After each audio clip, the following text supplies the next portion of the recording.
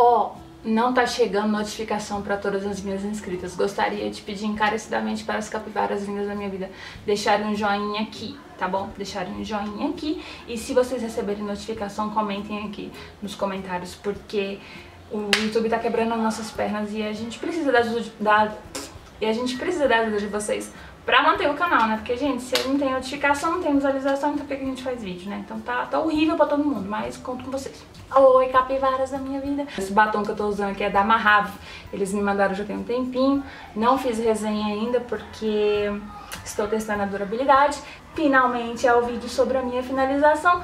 Fiz hoje com um difusor, não gosto muito porque eu ganho volume, mas perco definição, mas de qualquer forma, no vídeo eu mostrei pra vocês como eu deixo meu cabelo secar ao natural pro cacho ficar bonitinho do jeito que ele é e como ele fica com o difusor. A gente perde um pouco de definição, eu, meu cabelo, perde definição com difusor, por quê? Se o cacho secar natural, a hélice dele fica assim, bonitinha, curvatura, do jeito que tem que ser. Se ele seca com difusor, ele seca conforme ele é encaixado aqui. Então, se ele é encaixado tortinho, ele vai ficar com o molde mais tortinho, não vai ficar com a definição tão legal assim. Mas em compensação, o volume aqui tem pra dar e vender, né, minha gente? Tem pra dar e vender. Essa cor maravilhosa do meu cabelo aqui é a Igora... Ixi... Igora 77 com a Keone 943. Eu, eu acho que é meio a meio. Mas quem fez a minha cor foi a Ajuda Letícia, eu vou deixar o Instagram aqui, especialista em ruivas aqui em Brasília. Meu Deus, como eu falo, como eu falo, meu Deus do céu. Vamos lá para ver como eu faço a finalização. Bom, gente, meu cabelo aqui tá lavado só com shampoo e condicionador. O excesso de água saiu sozinho enquanto eu arrumava as coisas aqui pra gravar o vídeo.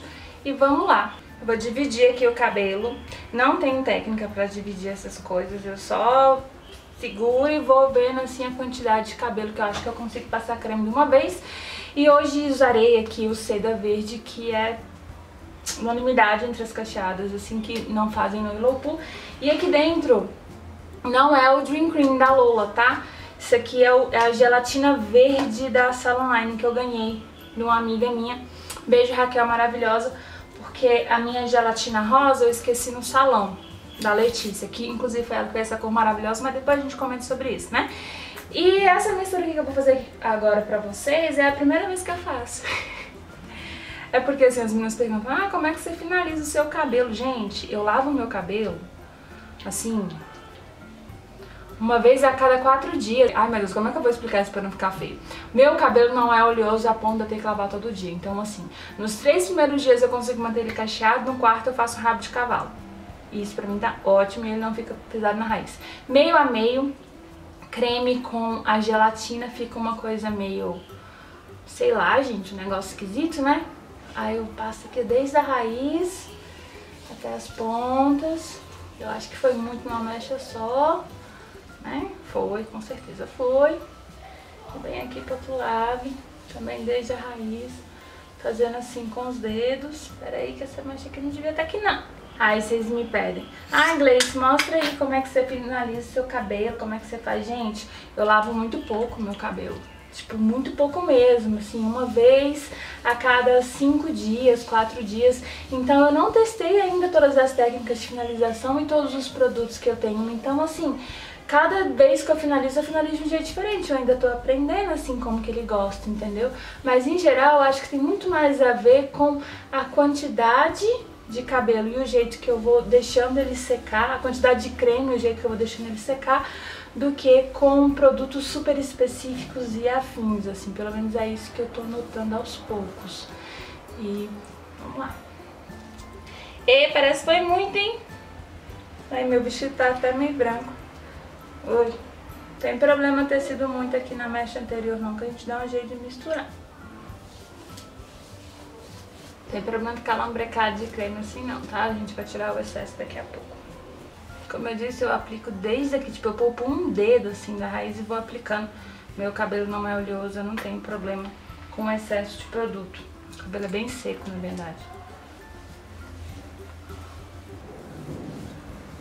Em condições normais temperatura e pressão, eu não uso o difusor porque eu sou muito preguiçosa. Eu me arrumo pra gravar vídeo. Quem me vê na rua sabe que eu ando descabelada de chinelo. Eu só separo assim com o dedo mesmo. E vem com uma fronha, tá?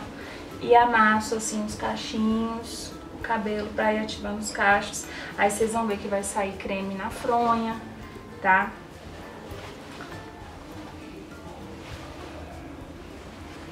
Mas é, é normal, tá? Onde eu sei é normal.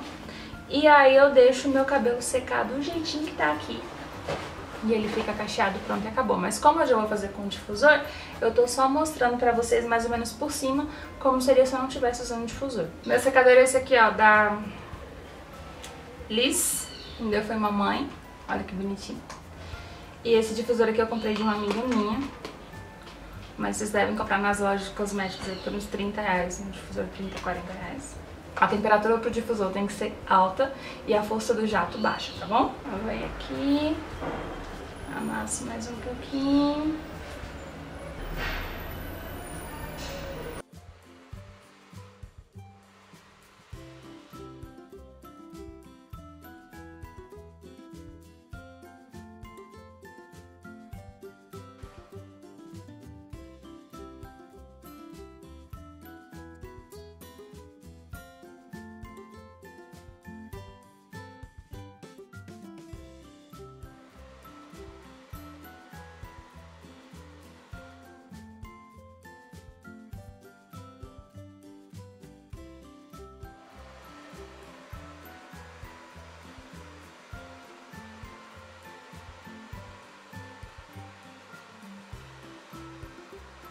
Eu venho com os dedinhos assim, encaixo aqui na raiz e dou aquela chacoalhada.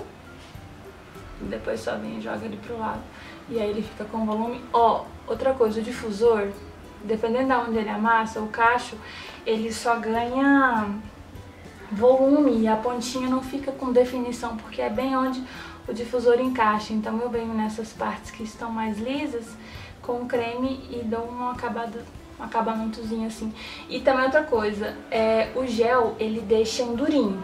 Aí pra você quebrar esse durinho, você tem que vir na mecha e quebrar ele com a mão, tá? E aí é isso. Espero ter sanado todas as dúvidas de vocês sobre a finalização, o jeito que eu faço. Eu não inventei nenhuma técnica, eu olhei tudo no YouTube. e é isso.